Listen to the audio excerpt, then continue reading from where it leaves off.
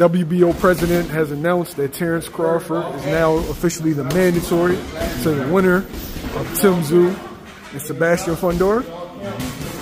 What you thinking about that? I like it. I mean, again, might not be the fights that we've been looking for, but real, real good fights. Um, it's already interesting seeing Fundora and Tim Tszyu because that, that came out of nowhere because we didn't expect Keith Thurman to fall out or pull out, whatever.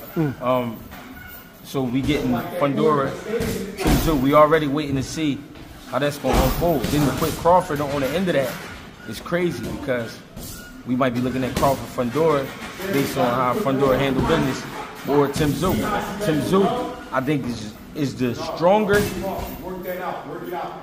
stronger out of the two, but I feel like Fundora is the most dangerous out of the two. Of course, because of the height um, and just his heart. He got a lot of heart. A guy that big with a lot of heart could hurt you.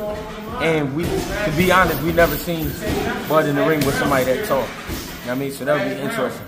At the same time, Tim Tszyu, sturdy, you know what I mean? Uh, quality guy. And we get ready to see what he made of. So, I don't know. I like it. That face off, if Fundora wins, that face off between him and Bud would be crazy. Just the whole, and I think, and I think honestly, I think the powers that be, they would want that fight anyway. What's the outcome of that fight? Of Bud and Fundora? Bud Fundora, Bud Tim Tszyu. Don't lie. Bud and Fundora, I don't know. I ain't gonna lie. That's a 50-50 fight. Because just because we seen Fundora knocked out don't mean another man just gonna knock him out. Styles make fights. Bud got a loose style.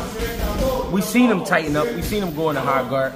But that may not be what he need for a Fundora. But at the same time, opening up, being relaxed in there, that might not be what he need. So that's what I'm saying. I don't know.